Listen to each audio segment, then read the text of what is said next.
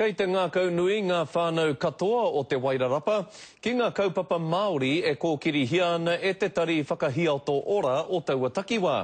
Koirā te whakapono o te Minita Whakahiato Ora, a O Paula Bennett, rāua ko te Kaikōmihana ā-Whānau, a Carl Davidson, whai muri iho i tētahi pūrongo i puta ake i te rangi nei.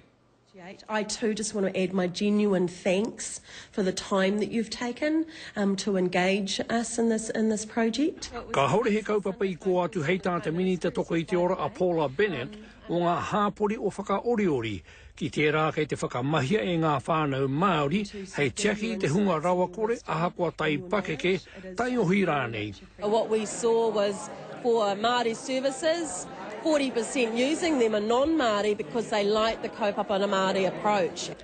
Tētahi o ngā whakaaturanga o te pūrongo, hei tā te Kaikomihana ā-Whānau a Carl Davidson, kei te piripono ngā whānau o roto i te hāpori ki te whakamahi ngā ratonga tiaki whānau. Engari, he mahi tonu kei mua i te aroaro. It's a case study piece of work which means we need to be very careful about how we generalise from the research, but it's a robust piece of work. Ruku atu i te 400 ngā whānau o roto i Te Wairarapa hei tā te Komihana ā-Whānau, i rangahautia e rātou kia whiwhi ai rātou ngā hua, ngā kōrero o roto i tēnei pūrongo. Ko te āwangawanga kē a ētahi atu i tae mai ki tēnei hui, he maha noa tō ngā whānau kei roto i tō rātou rohe, kāore anō kia rangahautia e rātou.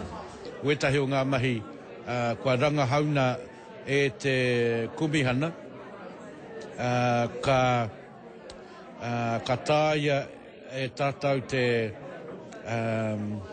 whiriwhiri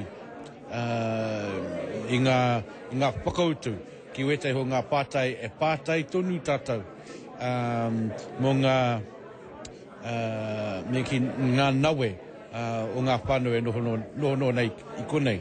Ko te wawata a te Komihana ka noho tēnei pūrongo hei tauira whāinga ma ētahi atu rohe. Joe Glenn, Te Karere.